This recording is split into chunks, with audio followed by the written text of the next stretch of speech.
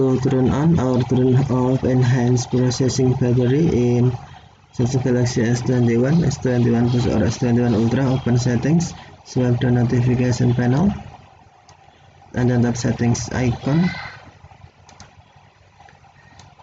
And then scroll down settings screen find battery and device care. And then tap battery and device care. Select battery? Scroll down battery screen. And then tap more battery settings.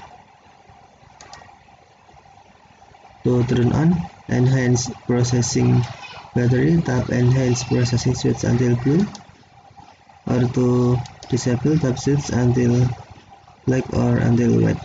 If you turn on enhance processing system will get faster data processing for all apps except games use uh, uses more battery.